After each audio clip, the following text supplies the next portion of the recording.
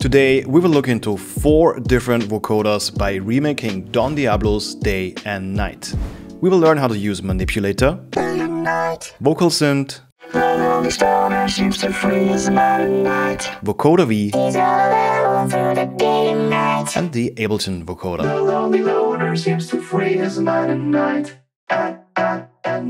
I'm going to show you how to set up these plugins and we will have some fun playing around with all the different possibilities.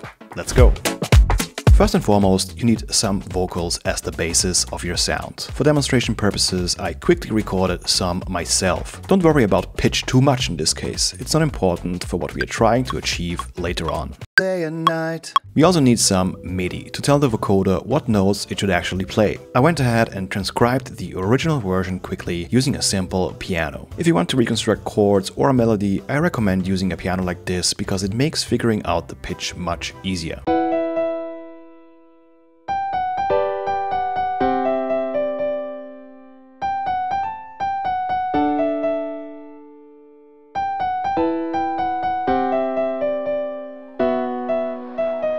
First plugin we look at is Manipulator. Its main use is actually just pitch and formant shifting, but if you send some MIDI into it, you can achieve a similar effect. Let's twist some knobs here and see what we can come up with. Day and night. The lonely stoner seems to free his mind at night. We can add some stereo here, for example. Day and night. Ooh, that's cool. And then, yeah, usually it's being used for formant shifting as said, so you can pitch it down, for example. Day and night pitch it up. Day and night. This case maybe not as nice. Formant shifting as well. Day and night. The lonely stoner seems to free his mind at night. He's all alone through the day and night. Can be cool, and then there's a bunch of these knobs that all do some weird thing that sometimes sounds really cool. Day and night. The stoner seems to free his mind at night. He's all alone through the day and night. Seems to Pretty cool, lots of possibilities there. The second one is VocalSynth. This one is pretty cool because it has different modules that you can use, turn off or mix together. For example, this is the vocoder, the very standard, normal one. But then you have something called CompuVox that sounds like this. You can mix a few of them even together like this. Or this is, for example, Polyvox. And then you have a bunch of uh, ways to manipulate these sounds. That's really cool, for example, here. And and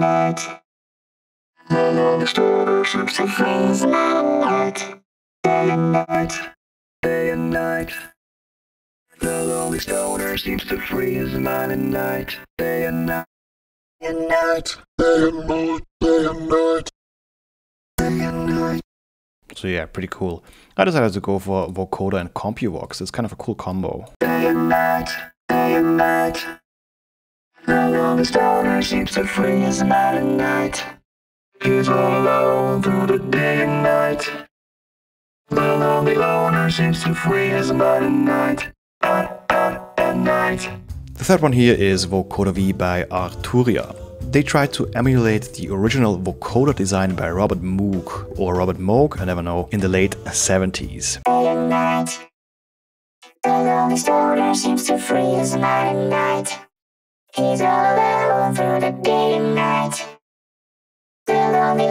The way this vocoder works is that you have a carrier signal, usually a saw wave. And then you have the vocals that modulate this carrier signal. This one has a lot of different presets and a really warm vintage sound.